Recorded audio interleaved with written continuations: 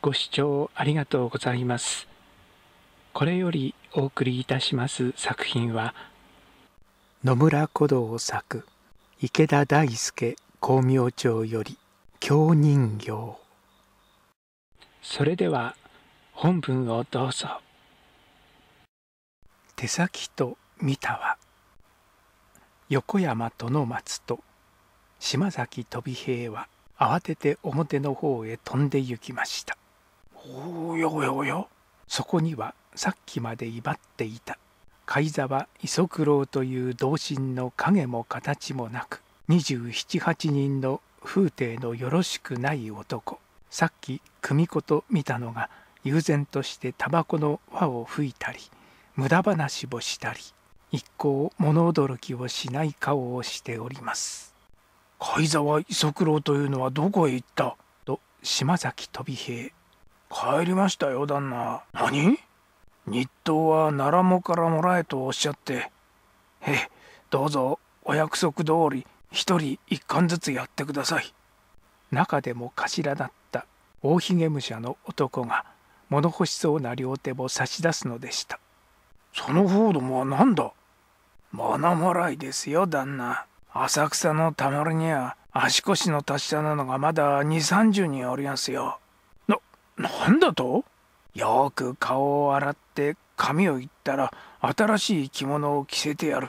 その上日当が一貫だと言うんで大喜びでめかし込み古着屋で装束を揃えてもらってお茶碗のお手伝いに参りました。お茶碗？奈良物旦那が四十二の蛾の祝いに今晩店先でお茶碗をしたんでしょ？わしどもは幕切れの仕出しに使われたんでしょ？ねえ旦那。ななんだと？旦那の同心は翻訳でしたよ。どうしてどうしてお茶碗とは思えませんよ。でも仲間でも足の悪いのや手の悪いのは普段はもらいが多いがこんな時はお役に立ちません。足腰の達者なおかげでとんだお役に立ちましたよ。なんというとんでもないことでしょう。なるほどよく見ると人相は物騒ですがその頃肌合いの粋な江戸の岡っ引きや下っ引きとはまるっきり違った人相ではありませんか。不定やつらだ。帰れ帰れ。そんなことを言っちゃ殺生ですよ。江戸一番の武芸。奈良も様ともあろう者が物もらいをただ使って済みますか。さあみんな、ここへ座り込んでお願いしようじゃないか。二十何人の物もらいに座り込まれてはかないません。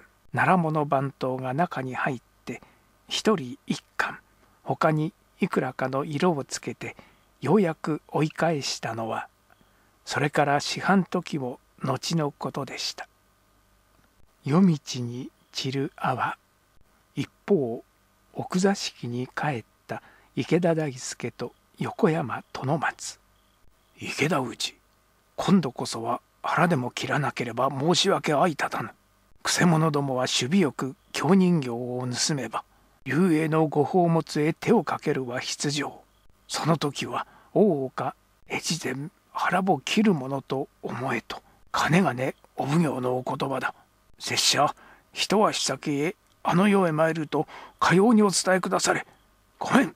ボロ肌押し脱いで脇差しを突っ立てようとするのです。は待った横山氏。いや生きていられる拙者でない。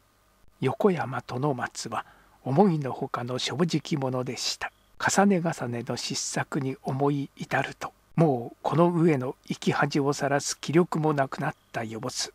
池田大輔の手を払いのけ払いのけ左脇腹へ突っ立てようとします。待った横山内強いて止めるとは申さぬ。切腹の前にたった一目お目にかけるものがあるそれを見た上で腹を切っても遅くはあるまい尊い御仏のお像かなんかなら拝見しよう。さようさよう。その御仏のお像だ。池田大輔は辛くも横山殿松の一刀をもぎ取って隣の部屋に案内しました。なんだこれは。婦人の寝部屋ではないか。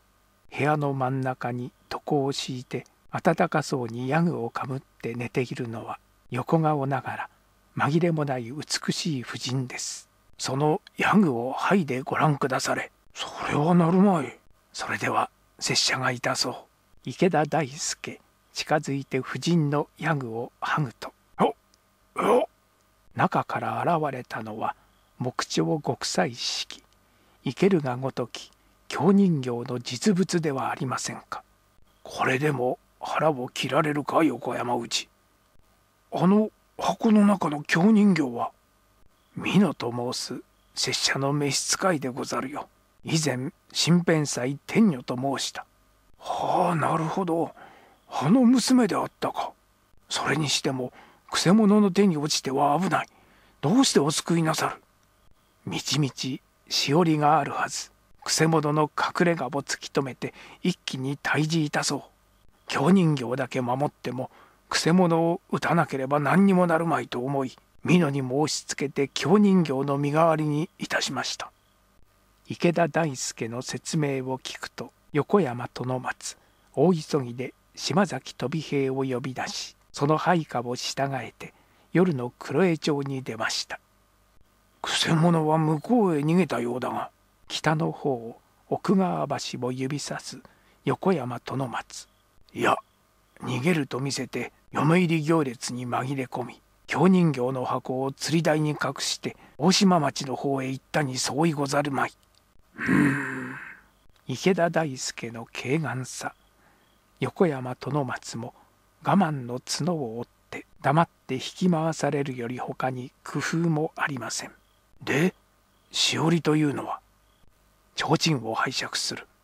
これこれじゃ道の上に泡粒がこぼれておる。なるほど。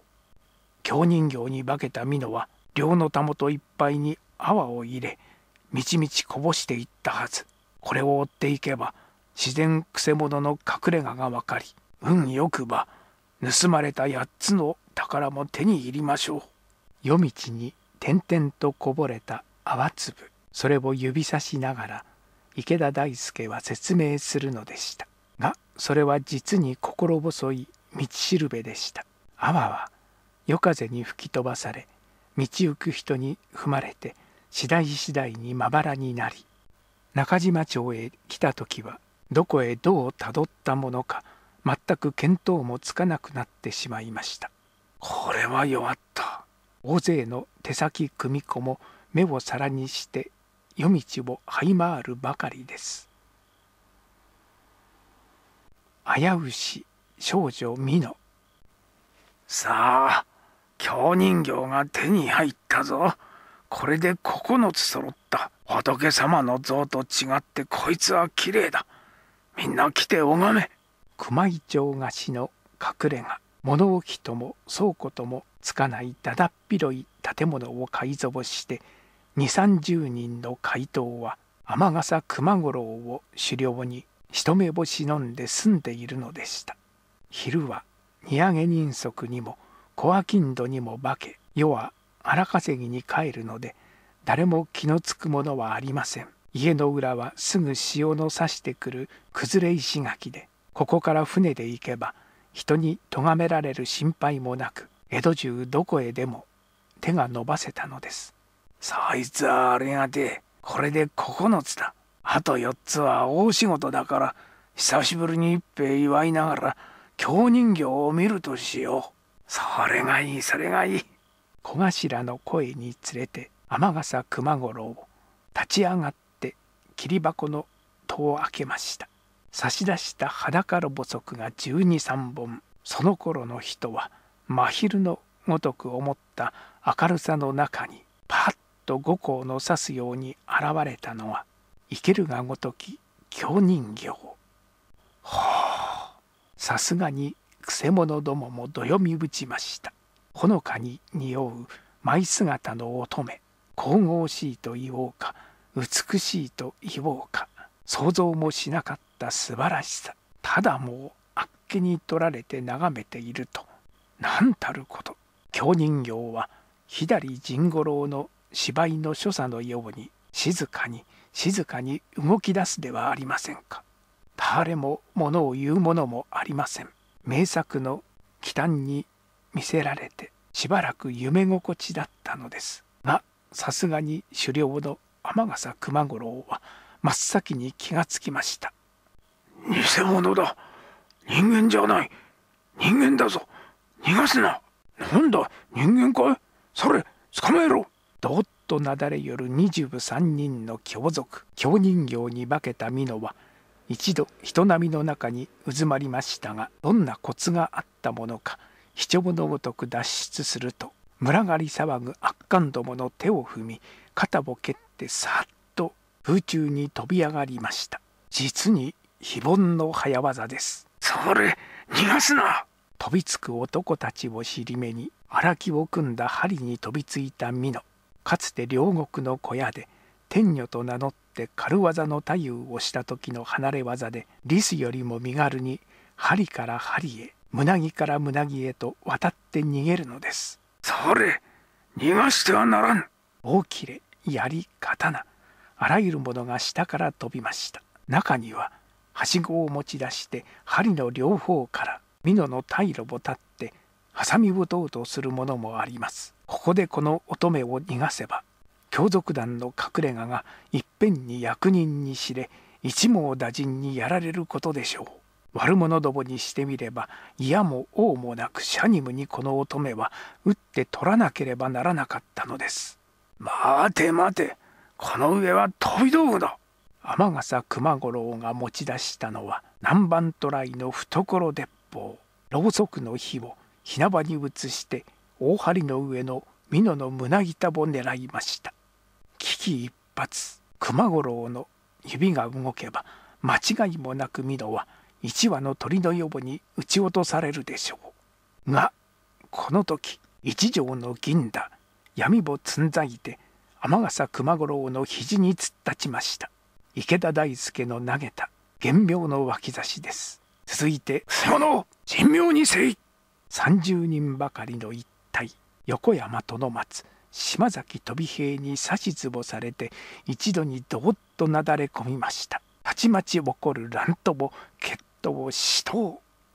四半時ばかりの後くせ者は大方縛られましたが天笠熊五郎を以下3人大川につないだ船へ隠れ家の裏から橋家を飛ばして逃げます。しかし池田大輔はそれも勘定に入れておりました。お船手に頼んで参謀からこぎ出した取り方の船があっという間に天馬も橋家もおっとり囲んでしまったのです。ご苦労であったな大輔。その方の働きで世も腹を切らずに済んだよ。大岡越前の神は明くる朝にこやかに大輔を迎えてだが船に目をつけたのはどういうわけだ？あの中には今まで盗んだ8つの宝物が無事に隠してあったそうだが。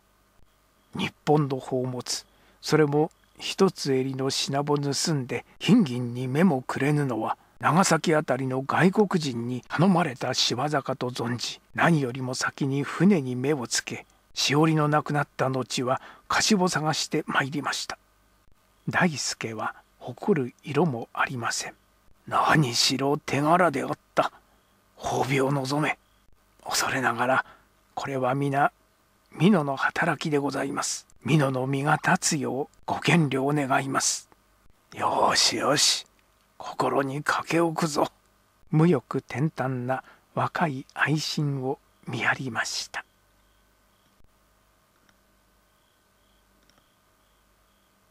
野村古道作。池田大輔光明町より京人形。読み切り。昭和16年発表。